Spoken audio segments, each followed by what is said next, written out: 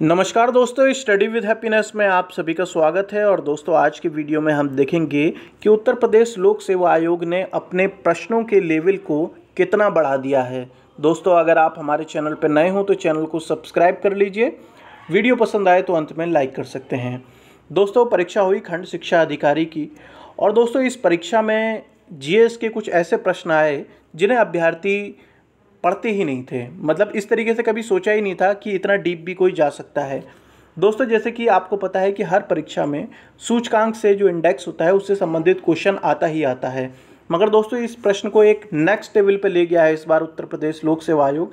आप देखेंगे, अक्सर अभ्यर्थी जो याद करते हैं, इसकी फ़र्स्ट रैंकिंग और भारत की रैंकिंग मगर इस बार जो क्वेश्चन पूछा गया है, उसमें आपका ये पूछा गया था कि निम्नलिखित में से कौन सा सुमेलित नहीं है? यानी कि आपको शुरुआत के तीन चार पता होना चाहिए लास्ट का भी पता होना चाहिए और भारत की क्या रैंकिंग है, ये भी पता होना चाहिए, तभी आप ऐसे प्रश्न को क्रैक कर पाएँगे।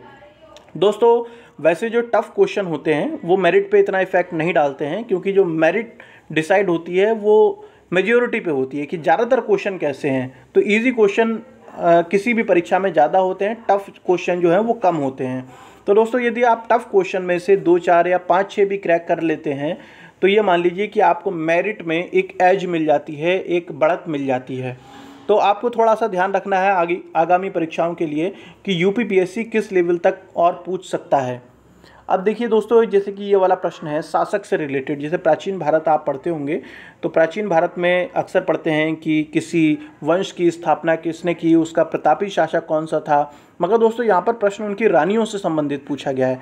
कुमार देवी का तो कई लोगों ने नाम सुना भी होगा, मगर उसके अलावा चंद्रगुप्त, समुद्रगुप्त या कुमार गुप्त प्रथम की रानियाँ कौन सी थी, ये बहुत कम अभ्यर्थियों ने पढ़ा होगा। समुद्रगुप्त के बारे में भारत का नेपोलियन पढ़ा है है ना? बहुत सारी चीज़ें समुद्रगुप्त के बारे में पढ़ी होंगी, मगर उनकी रानी कौन थी? ये बहुत कम हिस्ट्री के जो अभ्यर्थी होंगे, वो तो हो सकता है कि जिन्होंने बीए हिस्ट्री से किया हो, वो बता पाएँ। मगर जो जनरल स्टडी कर रहे होंगे अभ्यर्थी, वो बहुत कम ऐसे होंगे जो कि इससे रिलेटेड सही आंसर दे पाएँ।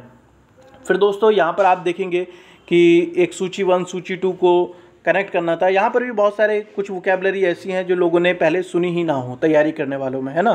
तो अब जो है, जो भी उत्तर प्रदेश लोक सेवा आयोग की परीक्षाएँ होनी हैं, उनके लिए अब आपको अपना जीएस का जो लेवल है, वो थोड़ा सा और अप करना पड़ेगा, जिससे कि आप कठिन से कठिन क्वेश्चन भी क्रैक कर पाएँ। अब देखिए दोस्तों, कई बार क्या करते हैं मिक्स क्वेश्चन कर दिया।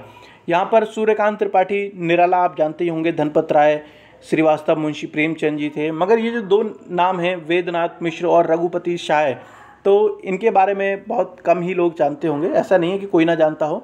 और इसमें भी मैच मैचिंग आ गई थी। और इस तरीके का था कि उसे सही कर पाना इतना आसान नहीं था। तो आप देख रहे हैं कि किस लेवल तक के क्वेश्चन पूछे जा रहे हैं। और आपको भी आप अपना जो लेवल है परीक्षाओं को लेकर, उतना ही इनक्रीज़ करना पड़ेगा। ठीक है दोस्तों? तो ये वीडियो पसंद आया हो तो आप लाइक कर सकते हैं चैनल पर नए हो तो सब्सक्राइब कर सकते हैं। जल्द मिलेंगे दोस्तों हम नेक्स्ट वीडियो में। तब तक के लिए जय हिंद, जय भारत।